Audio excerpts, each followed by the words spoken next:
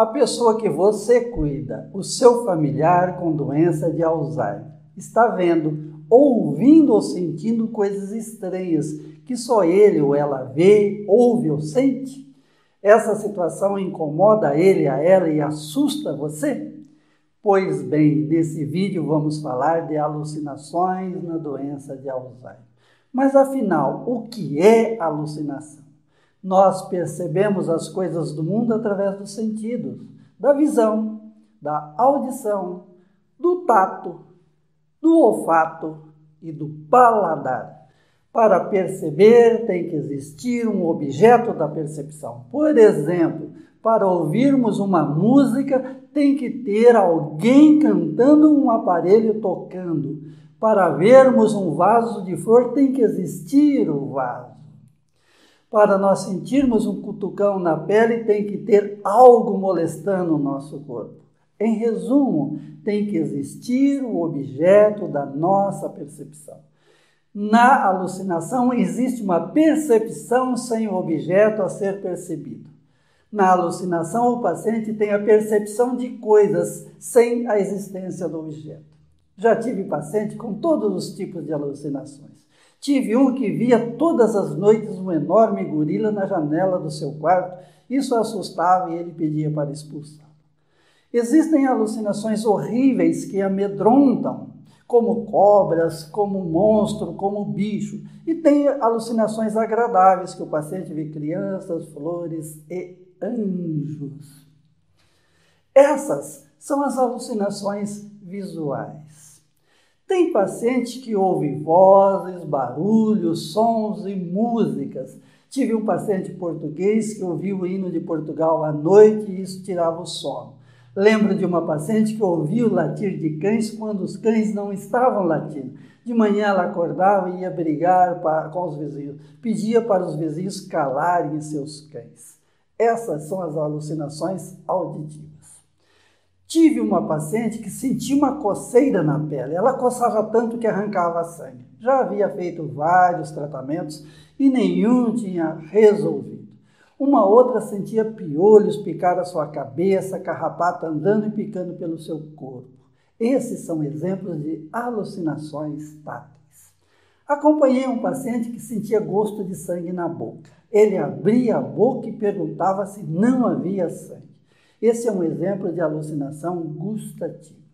Existem também alucinações olfativas. Recordo-me de um senhor que sentia cheiro de velório e aí eu perguntei para ele como que é o cheiro de velório. E ele respondeu: um misto de cheiro de vela queimando e de flores. Isso incomodava muito o paciente. As alucinações são sintomas frequentes na doença de Alzheimer e outras demências. Alguns medicamentos, mesmo os bem indicados, podem provocar alucinações. Estresse, mudança de ambiente ou pessoas, infecções também pode provocar ou piorar as alucinações. Nós mostramos o que são as alucinações. Agora vamos expor algumas estratégias de como lidar com essa situação complexa. Apesar de não existir o objeto da percepção, para o paciente, aquilo que ele está percebendo é real, então é um erro falar para ele ou ela que aquilo não existe. Em primeiro lugar, nós não devemos ter medo das alucinações, ela faz parte da doença. É comum os familiares procurar um médico bem aflito e dizer: ele ou ela está tendo comunicação com o além, está conversando e vendo, vendo e conversando com os mortos. E em segundo lugar, nós temos que passar confiança. Como você não está, você não está sozinho, eu estou aqui para te proteger e cuidar. Nada de mal vai acontecer. Contestar que aquela percepção não existe, como falamos, não é correto. Embarcar na fantasia junto com o paciente nem sempre dá bons resultados. Tem alguns pacientes que até funciona, você levar na brincadeira, você levar aquilo bem na esportiva. Mas isso não funciona para todos. O mais correto é dizer: Eu estou aqui prestando atenção. Ainda não consegui ver ou ouvir, mas estou aqui para tomar todas as providências. Recordo de uma paciente que via pessoas mal encaradas na janela do quarto. A filha abria a janela, escancarava a janela, pegava uma vassoura e show, show, show, fazia que espantava. Por um tempo, a paciente a acalmava. Também tente distrair, mudar o foco, conversar, brincar, tocar naquele assunto que o paciente sempre gosta de falar e recordar.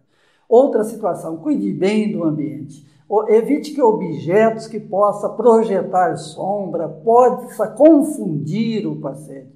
Muitas vezes o paciente faz uma imagem alucinatória de algo bem real.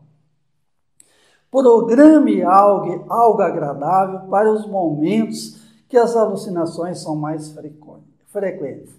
Um filho de uma senhora muito religiosa, que as, as alucinações ocorriam no início da noite, ele programou as orações para aquele período. Ele pedia para ela que ele ajudasse a preparar o ambiente e depois fazia suas orações. Ela acalmava. Como sempre falamos aqui nos nossos vídeos orientativos, lidar com a pessoa com doença de Alzheimer, as linhas nunca podem ser perpendiculares, as que confrontam, nem paralelas, aquelas que não se tocam. As melhores linhas são as tangentes, as que tocam superficialmente no paciente, sem confronto, mas também sem uma distância enorme. Por último, quando nenhuma estratégia der certo, quando as alucinações deixarem o paciente em pânico, leve ao conhecimento do médico. Medicamentos como neurolépticos pode ajudar, pode resolver o problema, mas lembre-se, não existem medicamentos perfeitos. Adaptação e ajuste não são fáceis e todos os medicamentos para esse problema têm efeitos colaterais. Na sequência, no próximo vídeo, falaremos de como lidar com os delírios. Se esse vídeo foi útil para você, esclareceu algumas dúvidas, compartilhe com outras pessoas. Outras pessoas também precisam de conhecimento. Muito obrigado.